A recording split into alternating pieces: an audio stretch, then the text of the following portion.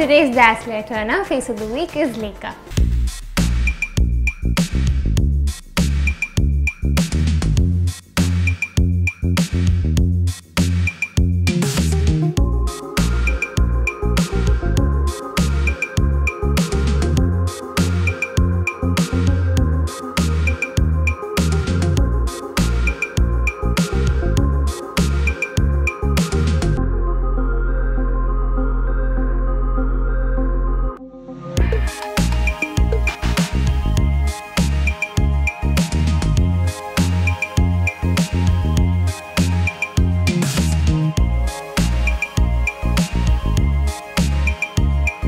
All of you don't miss out to watch Lekha's makeover on Dazzler Turner uh, Face of the Week.